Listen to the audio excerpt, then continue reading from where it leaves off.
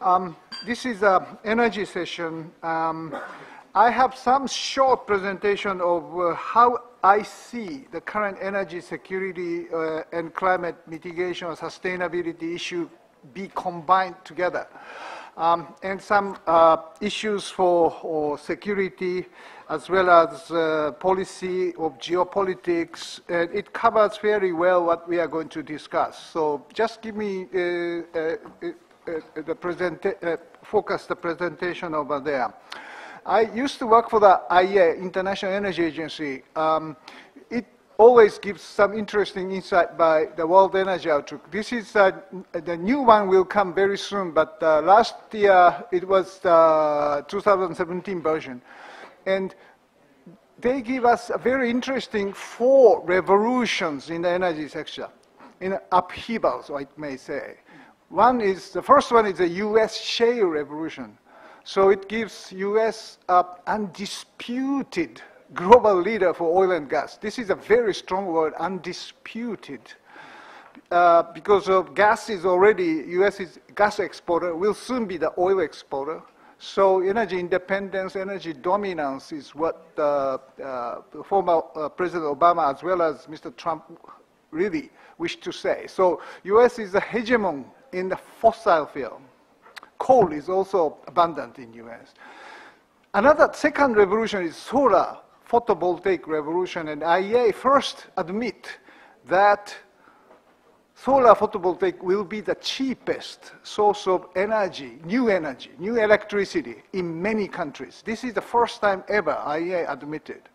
And this has a huge impact to the relative price of the mix, to gas, to coal, to renewables, uh, excuse me, to nuclear, this has huge implication. The third one is that China, and China is moving toward the green revolution by using gas to replace coal and lots of uh, renewables with uh, state grids expanding the grid lines. So China's green revolution is the third revolution. And the fourth one is electrification. So using the electric vehicles, digitalization, AI. Uh, so this is the future of the future uh, energy. And those who don't understand, uh, uh this will force countries to reappraise the uh, energy security and, and sustainability uh, strategies. And those who don't understand will perish, that, that they say. The important thing is the latter three revolutions are happening in China. Vis-a-vis US is leading the fossil fuel, so China's strategy is clear by connecting grid lines and using photovoltaic, solar, and wind for the electric vehicle so US is the conventional leader of the energy by shale revolution, while China is trying to be the new generation revolution by the photovoltaic and electricity, EV, etc. So this dichotomy is happening in China, in, in the world energy market.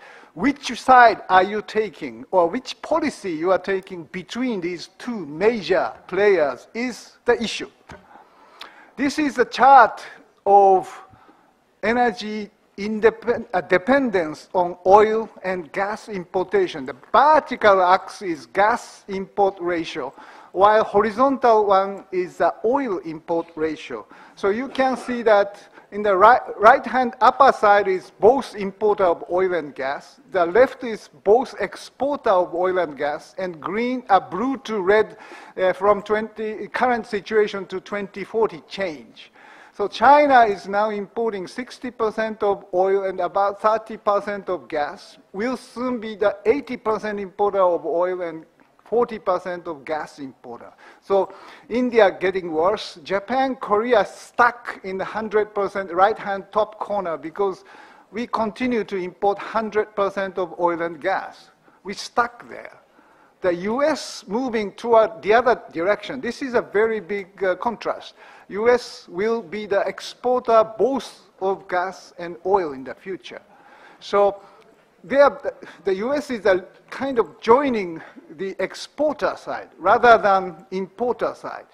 The China's policy is building another axe, the third axe or, uh, of renewable energy and increasing renewable energy and reducing the fossil fuel dependency from Middle East, from Russia, and from the United States. That is China's geopolitical strategy. So they have much more freedom of, of messing the Middle East or, uh, or fighting with Russia. Uh, so U.S. advantage of this shale revolution is tremendous. So Japan, Korea should depend on the oil and gas from Middle East, but the situation of the Middle East, as everybody knows, from the U.S. Uh, retrieval, uh, retrieved from the JCPOA of Iran, where this geopolitical situation is certainly suffer the country like China, India, ASEAN in the future, European Union, Japan, Korea. So these countries in a way, should make a collective energy security vis-a-vis uh, exporting countries. Um, I don't want to go too much, but this graph shows clearly where the future of the energy mix happens. All the renewables. Nuclear play a role, but very limited. Gas is still important. Coal will reduce its importance. And this is the cost of power generation in China the solar is getting very cheap, wind is getting cheaper, while coal and gas increase means solar will be the cheapest source of energy in 2040.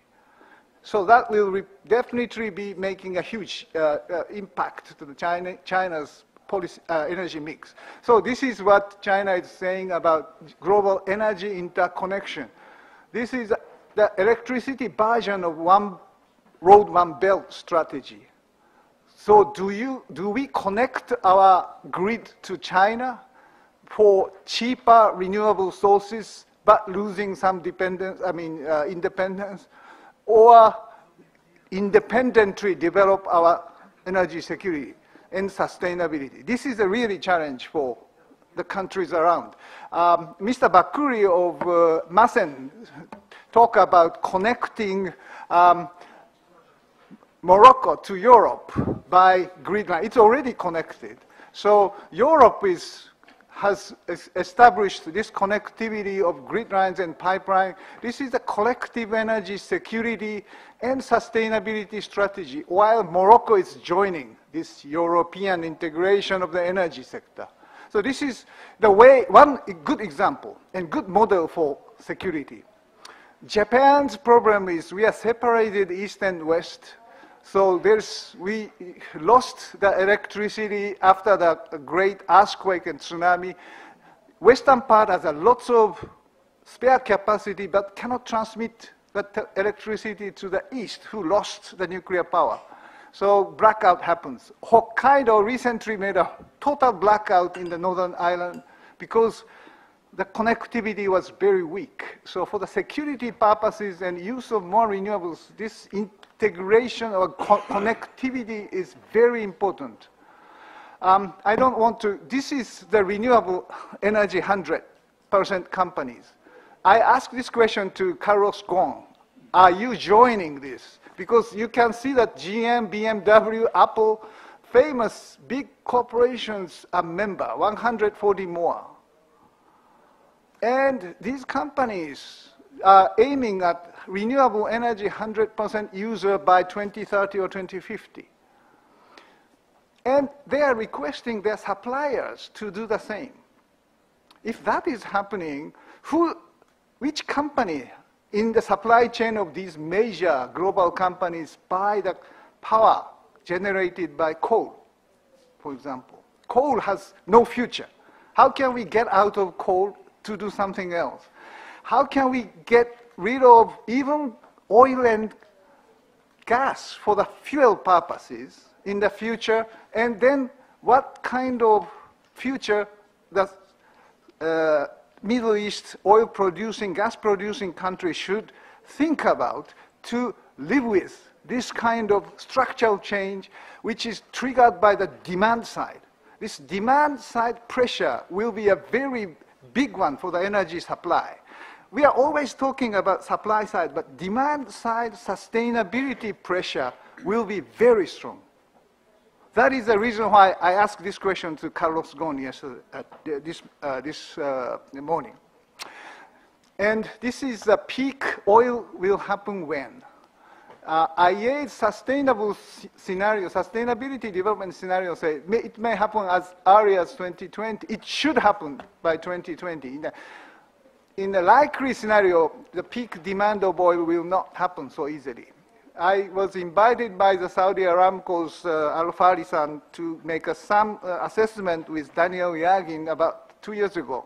When the peak demand of oil happens, that was a question to me. I said by 2030 maybe.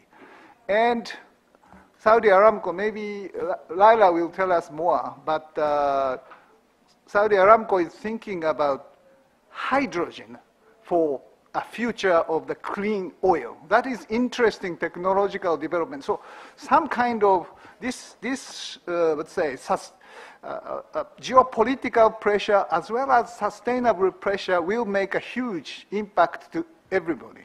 That is what I wanted to say. And final point about nuclear. Can nuclear survive? This is the cost curve of uh, relative uh, generation, electric generation by the Lazard, um, American Investment Bank. And nuclear is moving up dramatically because of the Fukushima accident.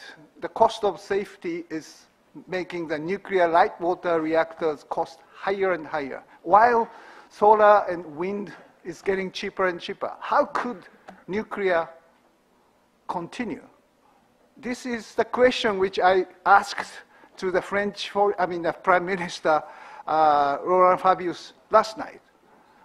Can France lead the global community of do, using more nuclear for the sustainability sake with this cost curve? This is a really challenge for France and Japan and those countries who want to use nuclear.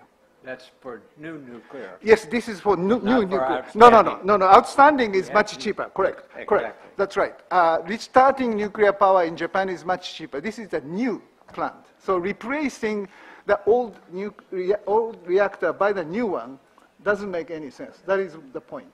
You're right, Mr. Cooper. Thank you very much. So this is the cost, average cost of power generation in the different countries. Japan is the highest cost, while Russia, China, Canada, US are the lower. So can Japan compete with other countries if the cost of electricity is so high? So how can we make a cheaper mix of electricity by using more renewables, etc., and be competitive? So this is uh, uh, kind of uh, difficult but interesting, let's say, issue which we want to discuss.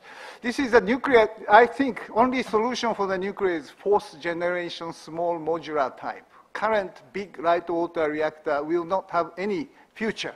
So there are many countries who are interested in using light water reactor system, but stop it, probably it's not good idea. It is just doesn't have any uh, cost competitiveness relative to the renewables. Okay, let's stop here and we will start the uh, uh, expose by uh, our uh, panelist.